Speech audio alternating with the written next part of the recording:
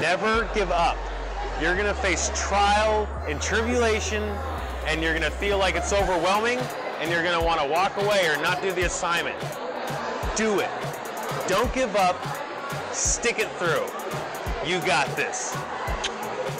What I would advise um, to you, to new students on Highline, is to be involved on campus and study hard. And my recommendation for you new students, just don't overthink it for the first day of class. Try your hardest. Don't let like the hard tests or the hard times get to you. Just get through it. It's just another uh, hardship, but I know you can do it. Good job. My advice to you is uh, keep going. It's not going to be easy. We face a lot of obstacles, a lot of long nights, early mornings, but at the end of the day, stay focused. So I just want to say, just, just believe in yourself. Even though classes may be hard, just go for it and just do your best. Uh, one advice that I would give to you guys is to be persistent and believe on, on your dreams and always follow them because if you believe in your dream, there's nothing that can stop you. It's never too late to go back and get a degree and just make sure you have a strong support group, that you're dedicated, because you too may work for the hospital of your dreams. The only advice I might give you is to never give up, to always keep on trying, and whatever comes up, overcome it. Overcome your fears.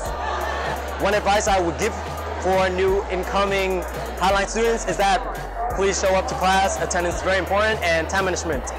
Thank you. One advice I have for future students is Highline has the support you need for all ethnicities and for communities here. And um, find them because you they have it all. So my name is Emily, and one tip that I give to you guys is to definitely find a friend in one of your classes because you never know how close they'll be to you, and they'll definitely help you in your classes. The advice that I would give for new students coming in is to be there every day. And then you know what's going on. Hi, you guys. I'm Crystal Infrata. The best support that you could get at Highline would be AANAPISI. If you're a Pacific Islander, Asian, Native American, they're the best place you could go to. They'll help you out with colleges, helping you build your future, and especially you'll make a lot of great friends. The advice I give to new people coming to Highline is to keep going and choose a degree that you love. It's worth it at the end. Just, just be hard work, hard worker, and uh, uh, like uh, be a good student. And like there is a lot of resource you can get from Highline.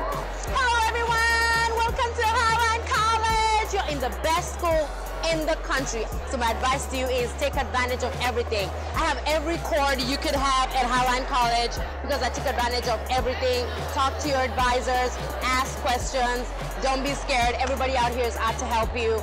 They are wonderful people. Your professors are amazing. Faculty is amazing. Staff is amazing. I would say take advantage of everything and use the Highline College website. Everything is on there, opportunities, jobs, everything you want to know is on there. So just go there and take your time and try and find where you belong. And I can guarantee you there's a place for you here. So welcome to Highline College, and I hope to see you in two years in a graduate